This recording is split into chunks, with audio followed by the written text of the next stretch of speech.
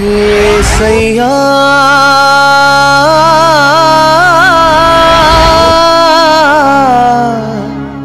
నీకు సాటెవరు సకల సురైక వంద్యుడా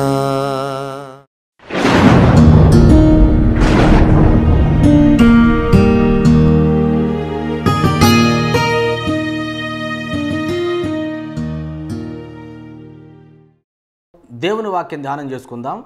లూకా వార్త ఇరవై రెండవ అధ్యాయము యాభయో వచనం. అంతలో వారిలో ఒకడు ప్రధాన యాజకుని దాసును కొట్టి వాని కుడి చెవి తెగ నరికెను. ప్రధాన యాజకుని దాసును కొట్టి వాని కుడి చెవి తెగ నరికెను. ఈ వచనాన్ని మనం గమనిస్తే పేతురు మల్కు చెవి తెగ నరికాడు. ఎందుకు చెవి తెగ నరికాడు? దాసునికి ఉండవలసినది మొట్టమొదట దాసునికి ఉండవలసింది చెవి వినగలిగిన చెవి. దాసుడు అనబడినవాడు తన యజమాని ఆజ్ఞలను చాలా జాగ్రత్తగా వినాలి పాటించాలి. ప్రధాన యాజకుని యొక్క చెవి తెగనరికాడు. దేవుని దాసులమైన మనకు కూడా మొట్టమొదటిగా ఉండవలసినవి చెవులు. మనకు వినగలిగిన చెవి కావాలి. అందుకే ప్రకటన గ్రంథంలో లేఖలు రాస్తూ ఏడు సంఘాలకు లేఖలు రాస్తూ ప్రభు అన్నాడు వినుటకు చెవిగలవాడు వినుగాక వినును గాక. వినుటకు చెవిగలవాడు వినుగాక వినును గాక. అత్యంత ప్రాముఖ్యమైన విషయం వినగలగటం. వినే చెవి కావాలి.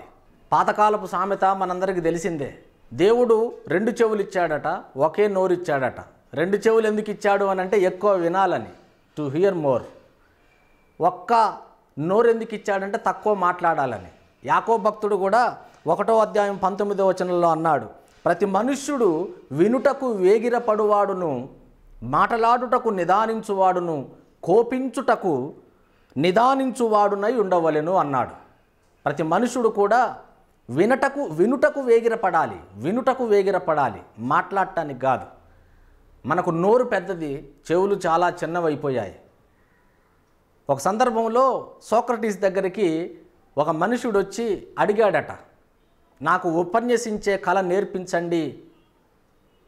సోక్రటిస్ గారు నాకు అరేటరీ నేర్పించండి లెక్చరింగ్ నేర్పించండి నాకు అని అంటే కొద్దిసేపు మాట్లాడిన తర్వాత సోక్రటీస్ అన్నాడట నేర్పిస్తాను కానీ నాకు డబుల్ ఫీజు కావాలి అన్నాడట.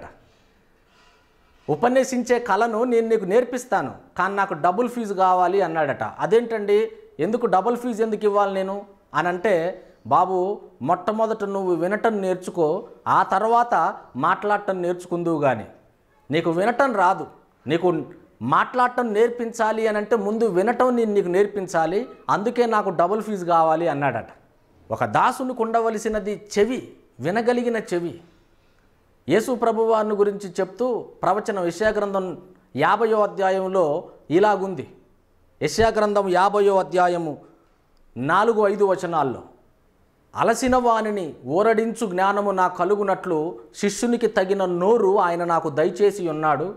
శిష్యుడు వినున్నట్లుగా నేను వినున్నట్లు ప్రతి ఉదయమున నా చెవికి ఆయన వినుబుద్ధి పుట్టించుచున్నాడు. నా చెవికి ఆయన వినుబుద్ధి పుట్టించగా నేను ఆయనను తిరస్కరించలేదు. వినకుండా నా చెవిని నేను తొలగించుకొనలేదు అన్నాడు. శిష్యునికి దాసునికి చెవి కావాలి. వినగలిగిన చెవి కావాలి. దేవుని స్వరాన్ని వినగలిగిన చెవి కావాలి. సాధారణంగా వినే వాళ్ళలో నాలుగు రకాలు ఉంటారు. కొంతమంది త్వరగా వింటారు త్వరగా మర్చిపోతారు. కొంతమంది నిదానంగా వింటారు నిదానంగానే మర్చిపోతారు. మరి కొంతమంది త్వరగా వింటారు కానీ నిదానంగా మర్చిపోతారు. ఇంకొంతమంది నిదానంగా వింటారు కానీ త్వరగా మర్చిపోతారు. వినుటకు వేగిరపడవలసిన వారమై ఉన్నాము. అందుకే యాకో భక్తుడు అలా రాసుకుంటూ వచ్చి అన్నాడు మీరు వినువారు మాత్రమై ఉండి మిమ్మును మీరు మోసపుచ్చుకొనకుండా వాక్య ప్రకారము ప్రవర్తించు వారునయుండు అన్నాడు. ముందు వినగలిగే చెవి కావాలి. ఆ తర్వాత వినిన మాటలను చేయటానికి కావలసిన సిద్ధ మనస్సు కావాలి. వినిన మాటలకు అనుగుణ్యమైన ప్రవర్తన మనకు కావాలి. అసలు వినటమే రానప్పుడు ఎలా మనం మాట్లాడతాం? వినటానికే చెవి లేనప్పుడు మాట్లాడటానికి నోరెలా తెరుస్తాం? యేసు ప్రభువారు ప్రతి ఉదయమున దేవుని స్వరాన్ని వినేవాడు. శిష్యునికి తగిన చెవి ఆయనకుంది. కనుక మనల్ని మనం సరిదిద్దుకుందాం. దేవుని వాక్యాన్ని విందాం. వినుటకు వేగిరపడదాం. మాట్లాడటానికి కాదు. ఎప్పుడైతే సరిగా వింటామో అప్పుడే సరిగా మాట్లాడగలం. వినటమే రానప్పుడు మాట్లాడటం మనకు రాదు. దేవుని స్వరాన్ని విందాం. దేవుని స్వరాన్ని ప్రజలకు ప్రకటిద్దాం. దేవుని స్వరాన్ని విందాం. నిదానించి విందాం. చిత్తము నీ దాసుడు ఆలకించుచున్నాడు అని సమయంలా మనం దేవునితో చెప్దాం. ఆయన స్వరాన్ని మనం గ్రహిద్దాం. ఆయన స్వరాన్ని మనం విందాం. ఆయన స్వరాన్నే ఉన్నదున్నట్టుగా క్రీస్తునందున్న సత్యాన్ని ఉన్నదున్నట్టుగా ప్రజలకు ప్రకటిద్దాం.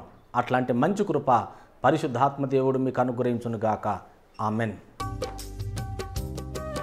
Our address Pastor N. Satyanivas, Fellowship of Jesus Christ Church, House number C977, Alvin Colony, Kukatpalli, Hyderabad 500072.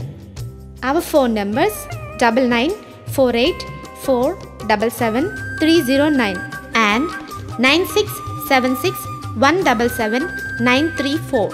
Our email nivaswithjesus at gmail.com. Our website www.fjcc.in. May God bless you.